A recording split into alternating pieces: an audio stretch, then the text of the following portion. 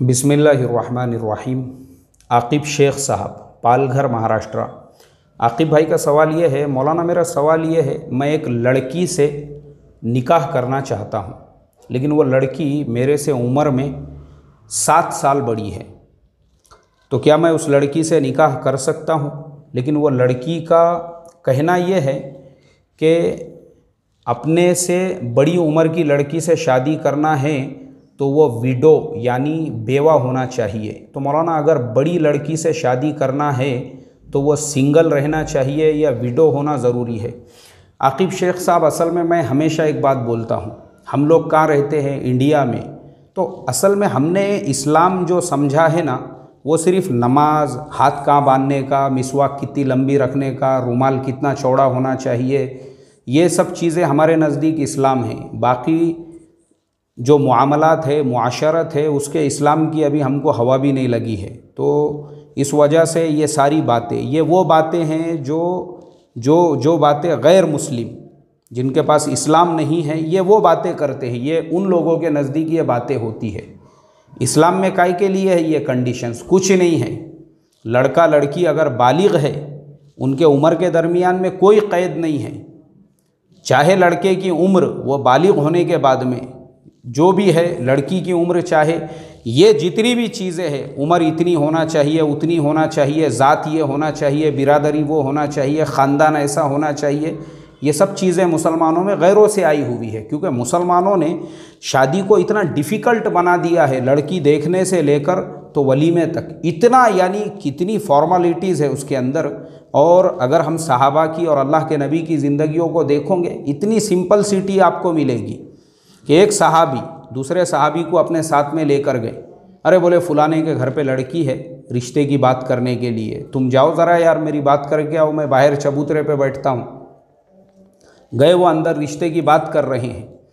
लड़की वालों ने बोले, यार वो जो है ना, जिसका रिश्ता तुमने लेकर आए हो, वो तो हमको पसंद नहीं है, लेकिन तुम पसंद है। तुम करते क्या हमारे लड़की से शादी? उन्होंने कहा कि ठीक है, कोई बात नहीं है, मैं कर लेता हूँ।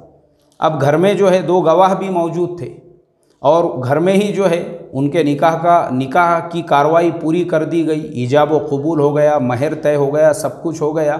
अंदर निकाह हो रहा है और जिसने रिश्ता भेजा, जिसने, जिसके रिश्ते के लिए जिसने भेजा था, वो बेचारा दूल्हे मियाँ जो है बाहर चबूतरे पे इंतज़ार कर रहा है।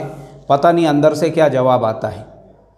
ये सादगी थी साहबा की ज़िंदगियों में और जब वो बाहर निकले और निकलने के बाद उन्होंने कहा कि बोले, यार, उन लोगों ने तो उस लड़की से मेरा निकाह पढ़ा दिया। तो वो नाराज़ नहीं हुए। उन्होंने लड़ाई झगड़े नहीं किए मारा मारी नहीं किए, जैसे हमारे ज़माने में होता है कि किसी के घर में अगर लड़की है और कि कोई अगर रिश्ते की बात कर रहा है और दूसरे किसी ने वहाँ पे रिश्ता जमा दिया तो दोनों में मारा मारी हो जाती है, लड़ाई झगड़े होते हैं, एक दूसरे की सूरत नहीं देखते हैं सालों तक। उनमें वैसा कुछ भी नहीं हुआ। बल्कि वो उनके गले लगे, मुआनका किया और उनसे कहा, बोले, भाई, अल्लाह के लिए माफ़ करना। अल्लाह ने तेरे मुकद्दर में वो लड़की लिखा था, लेकिन मैं उस लड़की के लिए रिश्ता लेकर आया तो मुझे अल्लाह के लिए माफ़ कर देना। उनके दिल ऐसे थे। तो आकिब शेख साहब, ये सब फॉर्मेलिटीज़ है ये। लड़की अगर आपसे सात साल बड़ी है, ऐसा ज़रूरी नहीं है कि वो बेवा हो या तलाक़शुदा हो, कोई मसला नहीं है।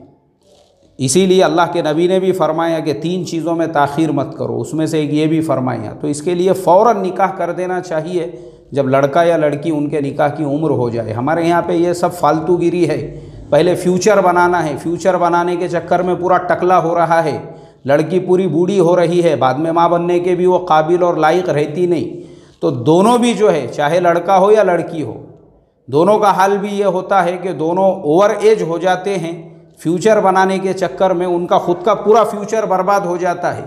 अल्लाह हिफाजत फरमाए। तो ये सब फॉर्मेलिटीज़ है ये।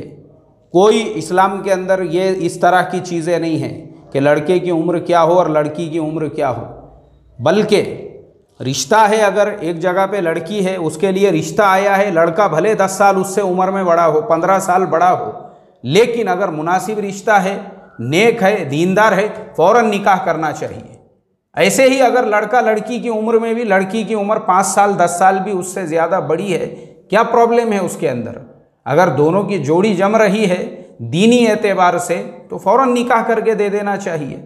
ये फालतूगिरी की वजह से आज मुसलमानों की लड़कियाँ घरों में बूढ़ी हो रही है, लड़कों के टकले हो रहे हैं टकले। महाभुरुंगराज घस घस के घस घस के घस घस के, कोई फ़ायदा नहीं है उसका, अल्लाह हिफाजत फरमाए।